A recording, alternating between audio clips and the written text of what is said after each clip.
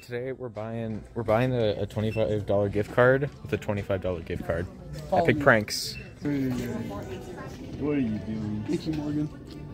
He mixed up the goddamn gift cards. Oh my god. Okay, so. Okay, so one of these. One of these cards we didn't pay for. One of these I got. yeah, he messed up real bad. I done messed up, bro. You literally just buying a car.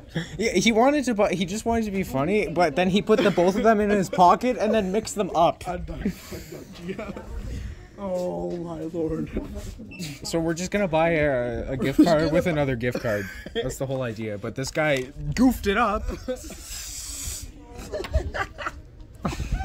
at least, at least she thinks it's funny. At least she's going along with it. She's not angry. Carson, get out of here. okay. Are you still gonna buy the other? Oh yeah. I don't know What? you do that. I'm not gonna lie. We're just gonna walk over there come back with another one. so how's your day going? I think I mixed it up. I'm not gonna lie. I think I mixed Did I make it? You did the same thing he did.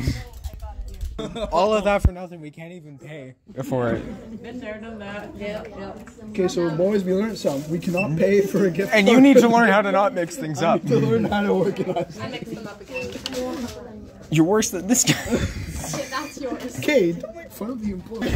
So that prank went absolutely flawless. That went absolutely horrible. I can't lie to you. Well, that's gonna do it. Uh, like, share, subscribe. Peace out.